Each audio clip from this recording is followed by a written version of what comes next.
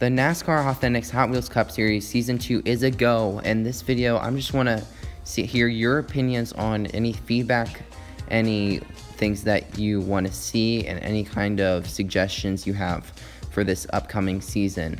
Now, I'm probably going to link the entire Season 1 playlist in the description, and you can watch that at any time in, that you have free time. So I just want to do this because I'm on vacation right now, and season one, season two will probably begin when I return from vacation, which is probably in a week. And I wanted didn't want to finalize any details unless I wanted to have a, hear you guys' opinions and to see what you guys wanted to see. So so feel free to leave any suggestions, feedback, and anything else you want to add for season two in the comment sections below. And I'll see you for an information video coming up in the next few weeks.